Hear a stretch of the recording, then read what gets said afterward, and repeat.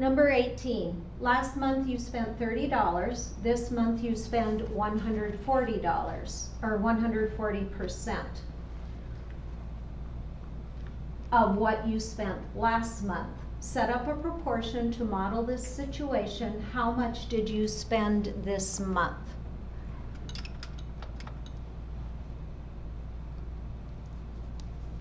So they tell us that we have a percentage. This month you spent one hundred forty percent, so that is one hundred forty over one hundred. And it also tells me that this month I spent one hundred forty percent of what we spent last month. And when I see that word of, I know whatever comes after that is going to go below the line. It's going to be the second term.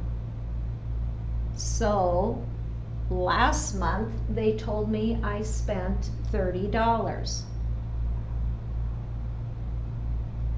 This is my whole. This is my whole. This is the whole amount that I spent last month. So that makes this my part. And just like the other ones, I know the whole is $30, but what I'm trying to figure out what is what this 40 in the 140% represents. and then together what they represent. So I'm going to use cross multiplication here. This is going to be x to determine my answer. So 140 times 30 equals 100 times x. So I have 100x on the right hand side. 140 times 30 is 4,200.